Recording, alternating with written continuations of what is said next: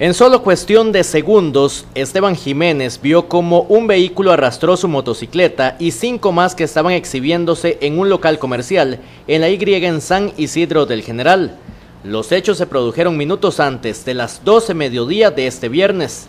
Por razones que se investigan, el conductor de un carro 4x4 perdió el control, se salió de la vía y arrasó con las motocicletas terminando en un precipicio de unos 3 metros como vemos en estas imágenes. El conductor logró salir por sus propios medios. Bueno, si acaso teníamos cinco minutos de estar dentro del negocio, estábamos cotizando unos materiales, perdón, unos repuestos para una motocicleta, porque, bueno, mi cuñado él es mecánico. Eh, no, no, nosotros estábamos dentro del local cuando escuchamos nada más fue el, el ruido. Y nada más yo lo que vi fue motos que volaron y el carro que pasó. Inmediatamente yo le dije a mi cuñado, ay Dios, se llevó la moto mía.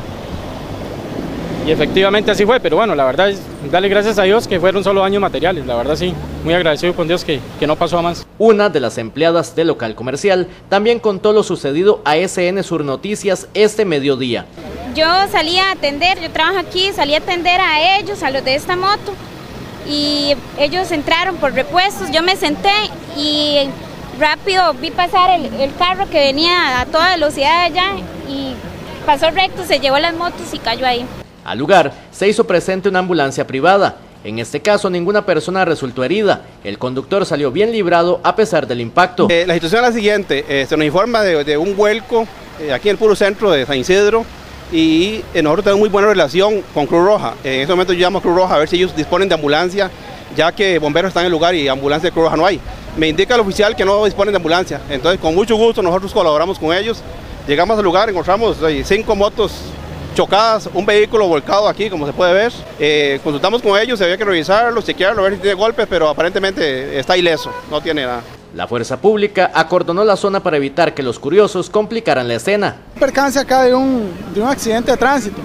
Eh, tenemos un vehículo involucrado que impactó varias motocicletas. Tenemos que verificar qué fue lo que pasó para posteriormente dar más detalles, pero eso es lo que tenemos en el momento. Las autoridades se reportaron que el hombre dejó la escena, pero fue encontrado rápidamente a varias cuadras del accidente y estuvo custodiado por varios minutos dentro de una de las unidades de fuerza pública, mientras se le realizaban los protocolos correspondientes, entre ellos la prueba de aliento. Él trata de correr, no sabemos si fue por el susto, si fue por la impresión o que de verdad se quería retirar, pero fue aprendido, que es lo importante.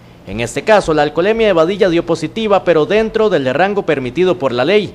Este medio conoció que quedarse dormido sería una de las causas de este accidente espectacular que dejó solo daños materiales en el centro de San Isidro del General.